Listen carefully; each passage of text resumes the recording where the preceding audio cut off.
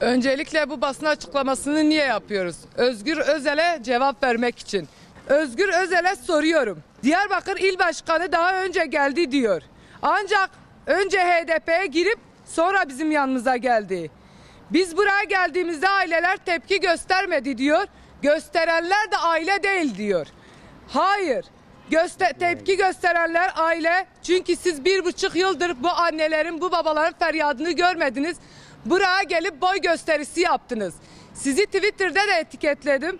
Ben size dedim ki eğer sizin gelişinizi samimi bulmamızı istiyorsanız HDP'yi lanetleyip PKK'yı lanetleyip kanamanızı istiyoruz dedik. Bize herhangi bir cevap vermediniz.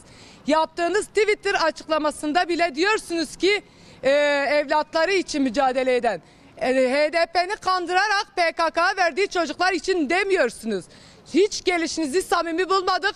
Biz anneler ve babalar olarak diyoruz ki CHP artı HDP eşittir PKK.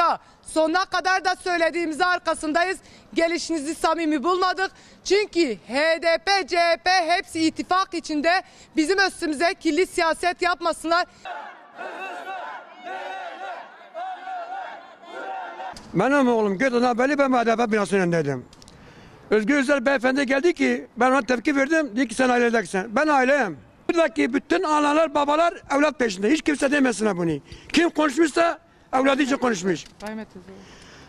Ben ona dedim ki sen şimdiye kadar neredeydin? Sezgi Tanrıkulu beni paylaşım yaptı. İlk oturum günü.